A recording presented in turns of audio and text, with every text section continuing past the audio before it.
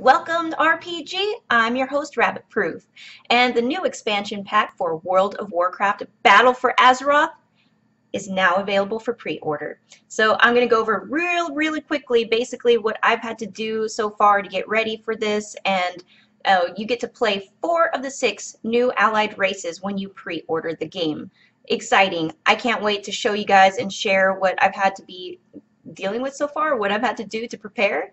Whatever, let's dive in. Easy go.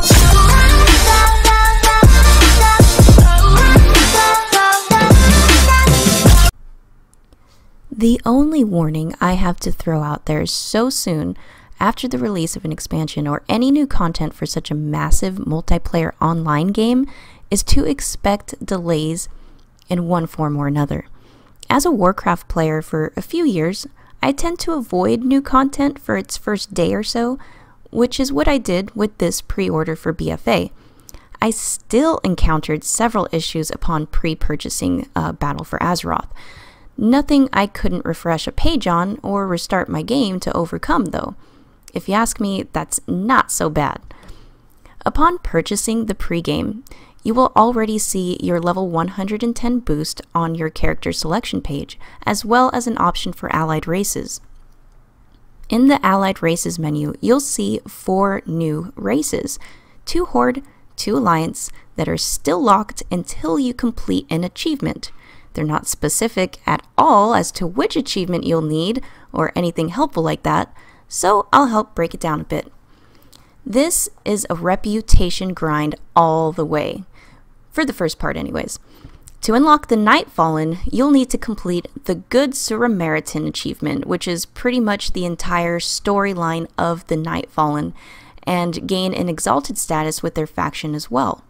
The High Mountain Tauren you'll need to complete Ain't No Mountain High Enough achievement, which is uh, the complete storyline for High Mountain as well. And you gotta gain an exalted status with their faction also.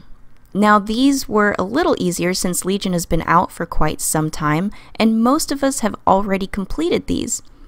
To unlock the Alliance's allied races, however, I thought far more challenging since the reputations you'll need to get exalted with is Argusian Reach and Army of the Light factions. These Argus factions are much newer, and not many have had the time to put towards these yet, like me. But uh, once you have completed these reputation and story requirements, a quest will pop up upon entering the world of Warcraft. I had to completely log out and back in to make this happen, but that's just a bug. I'm sure it's going to be fixed by the time I even post this video. So this quest will take you to your faction leader, whether that be Lady Sylvanas or Anduin Wrynn and they'll ask you which race you wish to pursue first. You'll make your choice and then pursue their demands accordingly. They'll each have you going on some wild goose chase for a little bit, but it's a relatively quick quest line for each race you do pursue. Upon completion, you will finally earn that unnamed achievement for said race. Now that all of this has been completed, you may begin the journey of your new allied race of choice.